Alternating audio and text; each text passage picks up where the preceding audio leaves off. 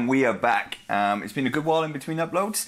Uh, for those guys who've been uh, with me, the vibe comparison video um, has almost run as long as I wanted to. I wanted to get to a thousand views and I wanted to do the cutoff, which is almost there. Um, so that's going to be coming soon, so make sure you stay tuned for that. Um, you might all get a little surprise on this one. Um, but that this video is not about that. Uh, this video is about um, a new product coming from BG Harding. I'll say a new product, there's two products coming from uh, Chris over at BG Harding. Um, I love working with pedal companies, I love you know reviewing stuff and the Zonk pedal from BG Harding was one of the best pedals, in my opinion, in the last couple of years to come out. Amazing pedal. So Chris and I have been talking, and Chris has been kind enough to send out these two um, new fuzz boxes. Uh, these are a fuzz face of sort. This one is a silicone. Uh, so basically got a silicone and a germanium. Um, I'm not going to go too much into it because I'm sure Chris will have his own blurb that he'll want to tell you guys, but he's wrote me a little, little note here talking about him.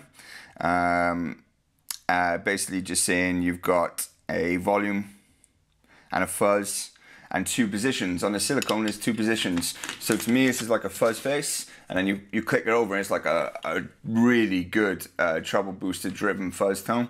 Um, I played around with it now for the last week or so in the background, and like Chris, my favorite settings are pretty much everything max and everything that you guitar part.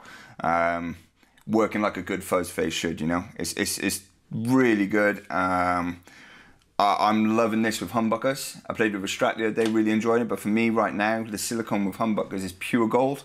Uh, it's it's it's got clarity all the way through. Um, it's got that thickness and that kind of buzzsaw tone can be there if you want to. Uh, I'm going to do no more talking. This isn't a review.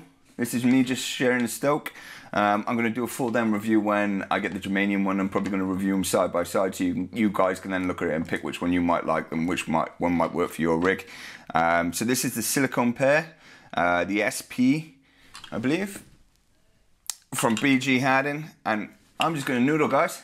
I'm just going to play around. I'm going to use the Epiphone. This has got the indigo PAFs in. Sorry, it's worth noting as well. Jonas has been in touch. Uh, seems like everybody's kind of coming back to life, and hopefully this you know, this case of uh, of closed in lockdown is passing. Yeah, Jonas has been in touch, and these Indigo PAFs are going to be back in um, reproduction soon. So um, I'm going to be playing the Epiphone with the Indigo PAFs into the Vibroverb with this, nothing else in the chain. Miking up with my Neumann straight in the garbage band. And uh, and no no fucking about with it. It's gonna be honest, okay? Uh, this is Richie from Fret Junkies. Make sure to tune in, like, subscribe, and share, and all that shit.